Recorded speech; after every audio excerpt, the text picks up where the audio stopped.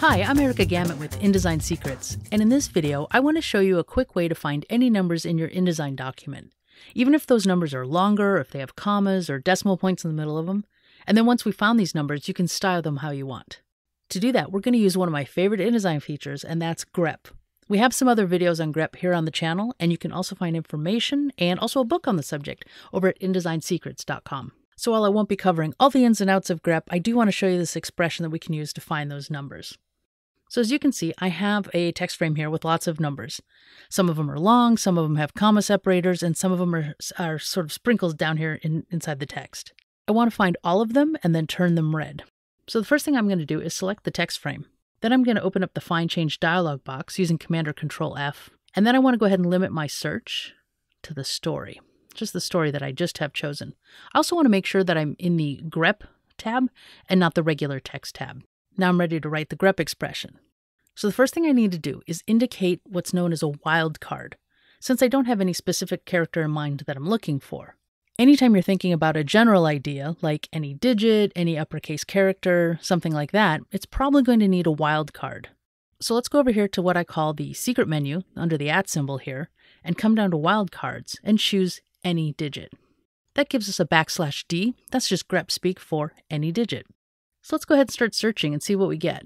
Find next, find next. Oops.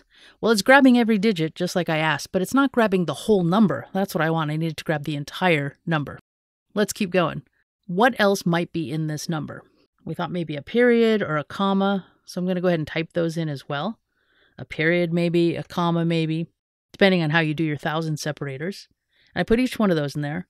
And now, what it wants to find at the moment, at least just by looking at it looks like it wants to find any digit, followed by a period, followed by a comma. So it's looking, expecting to see each one of those once and in that exact order. But we know it could be any number of digits, and maybe the comma or period isn't there, maybe it is, but how many times, who knows? So this is where we need to set this little group off into sort of its own little thing. And we're going to put square brackets around it to do that. And the other thing we don't know is the quantity. So I'm going to put my cursor here right after the group, go back to that secret menu, come down to repeat, and tell it one or more times. And one final thing that you may or may not want to do is to tell it that you're only looking at this combo when it's sort of set off as a whole or a complete word, so you can throw what's called a word boundary around it. So I'm going to do backslash B. That's also in the secret menu if you need to. It's called word boundary. I put one at the beginning, one at the end. And now it won't find things like this period as part of a sentence. So now when we do a search on this frame, it finds every number, and then we want to go ahead and change it. So let's come down here to change format and apply the character style that I created called red numbers. And I'll just say change all. And it changes everything inside that text frame. You could also take the same exact expression and put it inside a paragraph style.